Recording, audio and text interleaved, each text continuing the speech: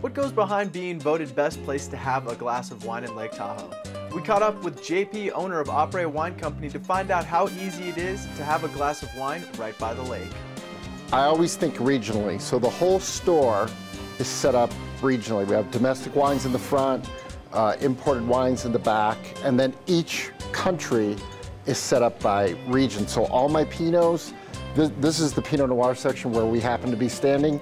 So I have Pinot Noirs from all the great domestic regions we angst over every decision that we make. So from the least expensive wine to the most expensive wine, if it's a $6 glass of wine, we want it to be the best $6 glass of wine we can have. And if we're if, if it's a more expensive Cabernet, a top-end Cabernet, we taste it first and make sure that we're in love with it before we put it on, on the menu and sell it for $15 a glass. When you join a winery's wine club, you're kind of stuck with the six or seven wines that they produce. But here at Apres, we have um, maybe around 300 labels, and then we're, we're always moving wines in and out of the store just to keep things fresh.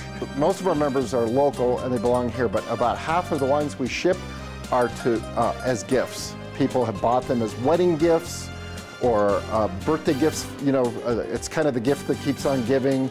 Here's your birthday gift. We're going to buy you this wine club for a year.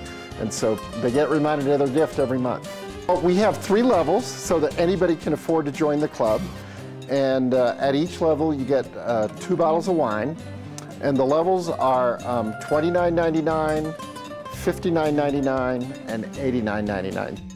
Just quoting our club members, they love it. They get so excited when we call them and uh, tell them their wines are ready, and they rush over and pick them up. And uh, it's just a great club. Reporting for Lake Tahoe TV, I'm John Chevallier.